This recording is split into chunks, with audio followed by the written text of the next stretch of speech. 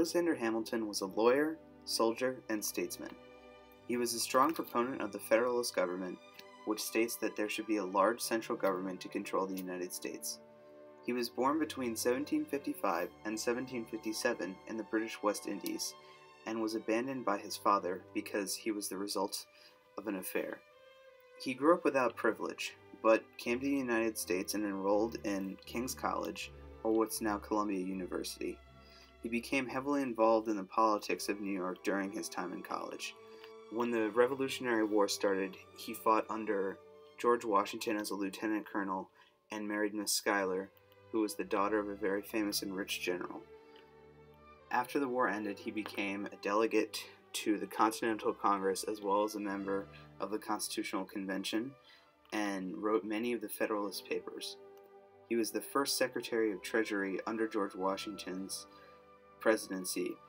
He created the first national bank to collect and distribute money over the colonies and wanted to end the national debt. After he got out of the president's cabinet, he backed Jefferson in the election of 1800, which was the first of many political feuds between him and Aaron Burr, who eventually ended his life in a duel.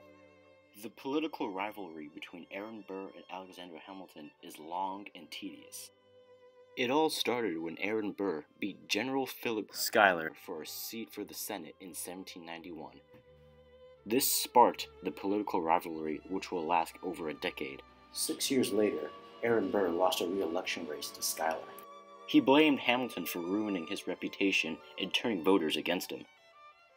Aaron Burr ran for president in 1800. Since Burr and Thomas Jefferson had the same amount of votes, the vote was decided by the House of Representatives.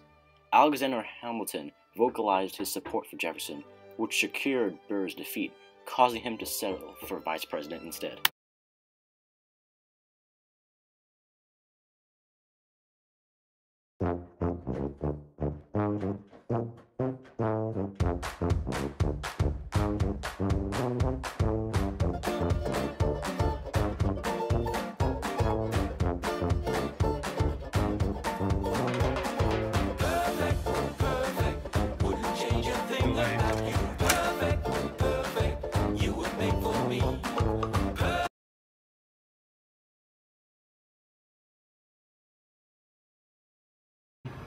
Today I'm challenging Hamilton to a duel because he stole my honor.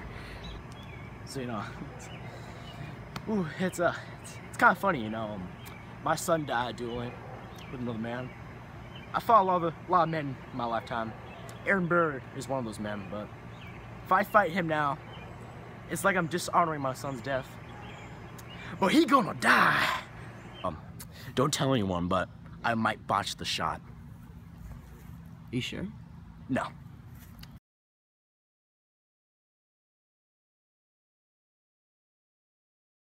Right.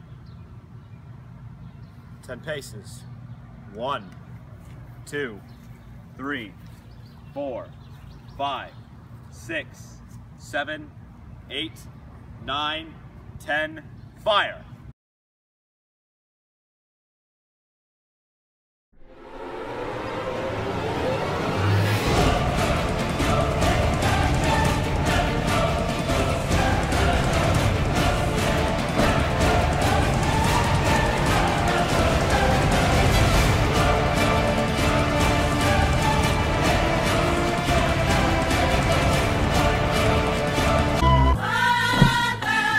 Metro don't trust you, I'm gonna shoot you. Beautiful morning. How could this happen to me? I've made my mistakes, got nowhere to run. The night goes on. Oh, oh my god, Get to the hospital. No! He's got Bring some some milk. milk. Oh god, Oh, you no. monster! Oh, I love you. Oh, placed God, Shed Hospital no. to your right. He got shot. Oh He's no! done. Get Oh, bro! He needs some milk! Oh no, I've killed him. Burr, we gotta get out of here.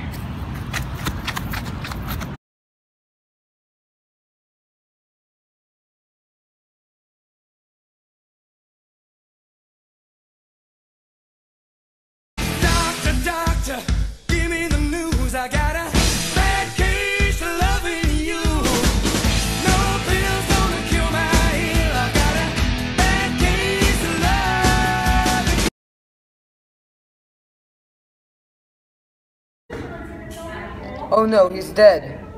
Uh, the patient died from a shot to the third or second false rib.